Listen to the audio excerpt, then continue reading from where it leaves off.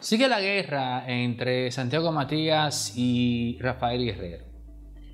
Y hace un tiempecito, Alofoque abordó directamente el tema de su vinculación directa consciente con elementos del bajo mundo, desmintiéndolo y diciendo que esto eran calumnias y mentiras. Sin embargo, hay un aspecto en el cual Santiago Matías no ha deparado y que va a hacer que no solo Rafael Guerrero, sino otros lo vinculen por default con este tipo de personalidades. Y tiene que ver directamente con él. Cualquier persona que analice su perfil al vuelo caerá en cuenta, consciente o inconscientemente, de que Alofoque es un capo frustrado. Lo que él quiso ser de niño, adolescente, es básicamente a ese ser con poder que él vio en el barrio le faltaban las gónadas para hacerlo.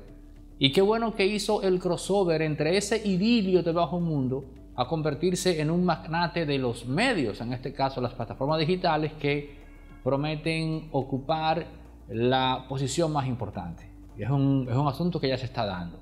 Pero de wannabe capo a ser un empresario de los medios consumados no se da sin que personas inteligentes puedan hacer la precisión del lugar y percatarse de qué está pasando internamente con él.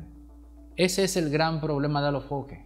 Es ese sueño frustrado de ser capo, el que despierta en todos los demás esa idea vista como algo real de que él es una extensión de estos, de que en efecto existe una vinculación directa entre él y ellos.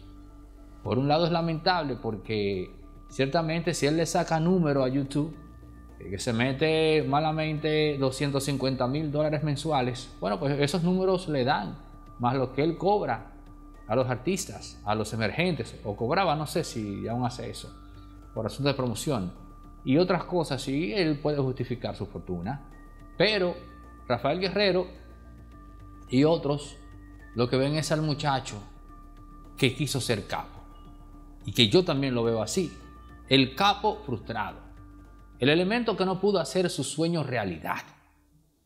Y no pueden evitar hacer una vinculación que a simple vista pudiera parecer evidente, porque hay algo galofo que no puede rehuir. Y es la realidad de que mientras más bajo es el mundo urbano, más se facilita la vinculación entre sus máximos representantes y personas que tengan que ver directamente con la venta de sustancias. Esto no debería ser visto como algo exclusivo porque la realidad es que cuando usted investiga el mundo eh, de la venta de sustancias, se percata de que han utilizado, o más bien han sabido incluso utilizar hasta iglesias cristianas como pantalla para procesar todo el dinero que sea necesario blanquear fruto de esa actividad tan polémica, eh, tan nociva, tan corrosiva a lo que es el funcionamiento de una sociedad.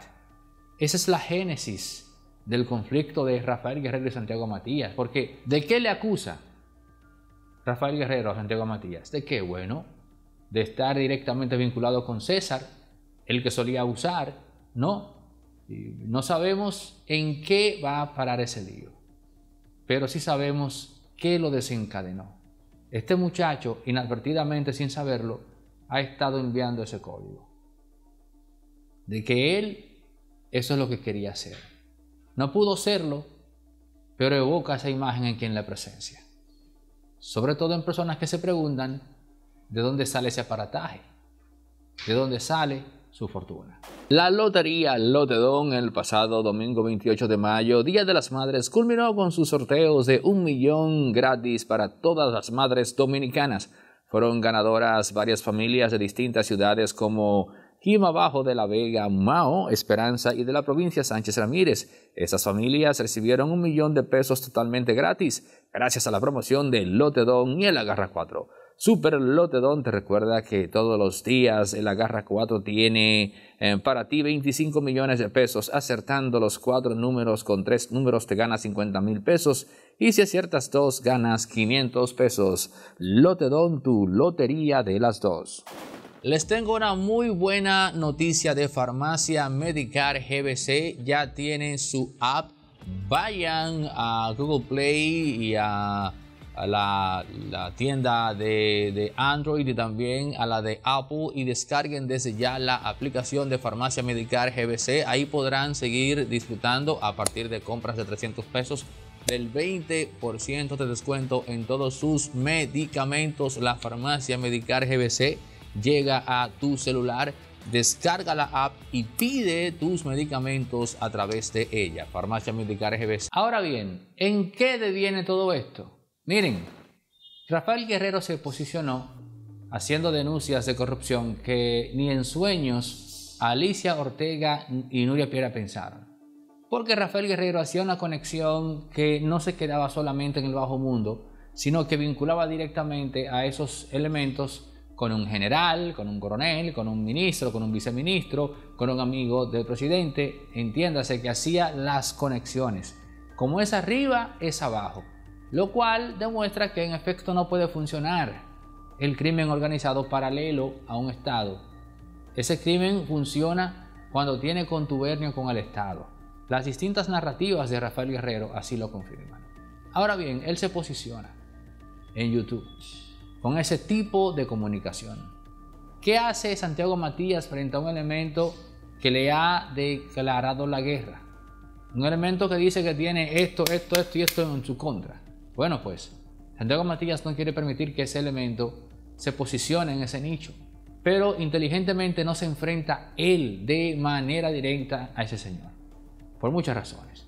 Ahora, ¿qué hace? Ubica un talento que a nivel de comunicación es versátil, tiene múltiples facultades, y ese es Ramón Tolentino. Ramón Tolentino es quien comienza a hacer denuncias desafiantes, temerarias, incluso eh, vinculando directamente a los eh, jóvenes de barrio involucrados en hechos, ya usted sabe de qué tipo, y los desafía públicamente, les dice que se entregue. La razón de ser detrás de la explosión de, de Ramón Tolentino no es otra más que la intención de Santiago Matías de hacer que Ramón Tolentino se quede con el nicho que, si se quiere, descubrió Rafael Guerrero con su plataforma Corrupción al Desnudo.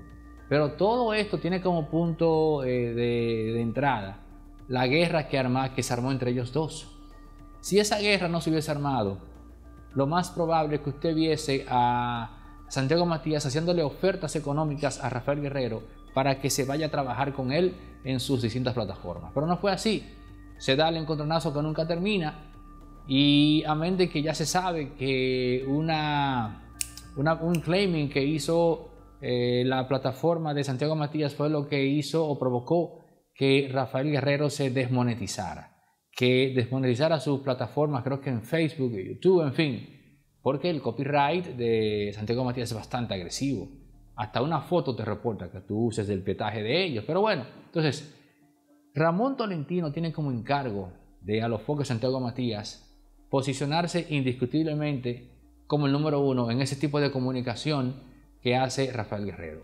Esa es la razón de ser de la línea comunicativa de Ramón Tolentino, sin quitarle mérito, al contrario. Lo que estamos planteando aquí es que él ha sido el elegido por Santiago Matías para enfrentar a Rafael Guerrero y posicionarse por encima de este en cuanto a ese tipo de comunicación que vive constantemente buscando primicia y revelando cosas no de cara a escándalos de corrupción de cuello blanco, no, sino a escándalos y hechos del bajo mundo que terminan siempre vinculándose con gente de arriba, aunque es Rafael Guerrero quien hace más hincapié en esto, y no necesariamente Ramón Tolentino, que lo más lejos que ha llegado en un caso fue a conectar a un sargento que tenía unos cuantos escándalos con un general, porque dicho general era el padre de este sargento.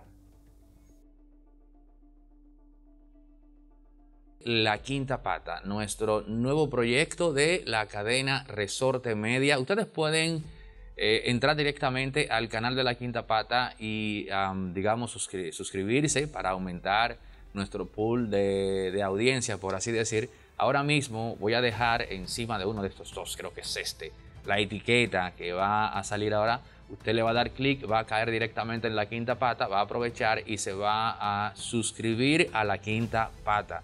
Nuevo proyecto con eh, Edwin Cruz, Fernando González, José Maracayo y Mario Herrera. La Quinta Pata es el nuevo proyecto de esta, digamos, eh, de esta centrífuga de contenidos emergentes que es Resorte Media. Te recuerdo, por cierto, que tú también puedes, eh, contactarnos al 829-741-3061 para disponer de no solo este espacio que está aquí detrás, sino de la postproducción de contenidos para tus proyectos personales, empresariales o en grupo. 829-741-3061. Tenemos el paquete más competitivo del mercado en cuanto a costo-beneficio se trata.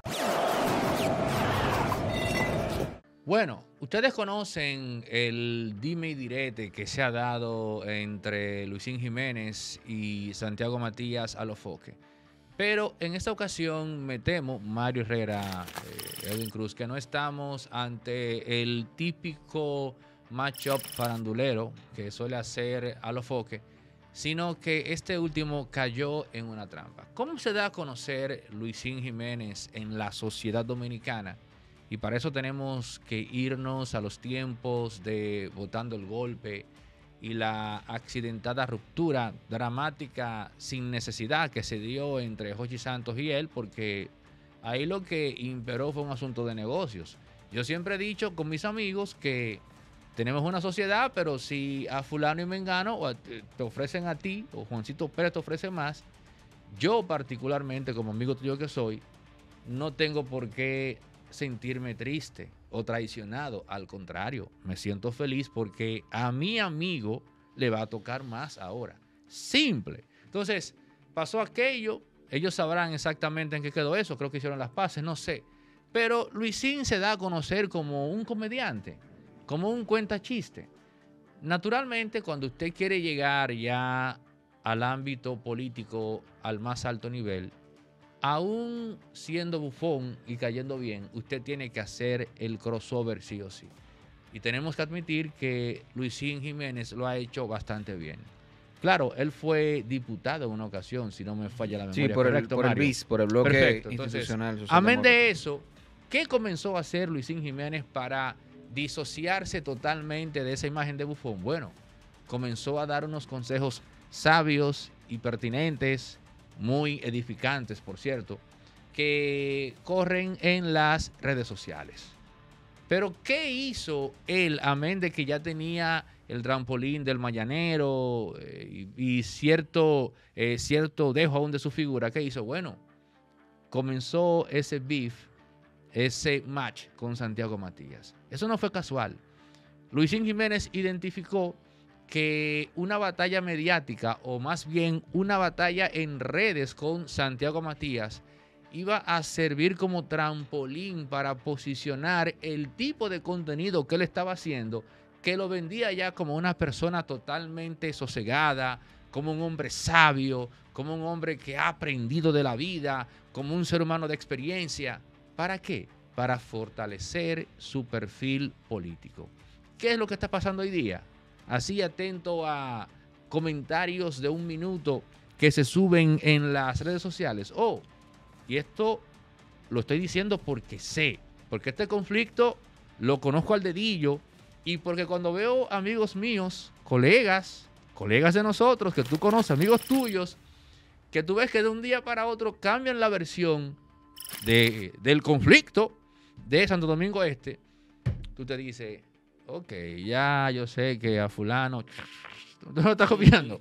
Entonces, en serio, en serio, de verdad, o sea, entonces, oh, oh, pero fulano, oh, pero vemos a un, a un, a me reservo el nombre. Wow, cambió la versión de un día para otro. Damn. ¿Le llegaste? Caminaron. Entonces, eso fue lo que pasó con Luisín. Mario, Edwin, usó a los foques. Lo usó. ¿Pero para qué? ¿Para posicionar su figura? Para generar más tráfico, tener más Posicionarse. Óyeme, hay un conflicto serio en Santo Domingo Este y da risa que literalmente hablando, el Boli y Luisín se dijeron, queremos Santo Domingo Este, la sindicatura, la alcaldía, a como de lugar, claro, en buenos términos, a como de lugar. No se pudo el proyecto del Boli en el PLD y hay que decir que él tiene derecho a emigrar. Porque cuando públicamente él dé el paso al PRM, lo van a acabar.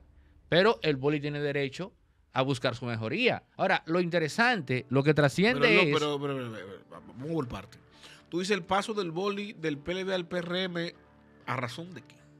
Por ejemplo, a buscar qué. Si el candidato no sería él, sino Luisín. Exacto, eso es lo que trasciende.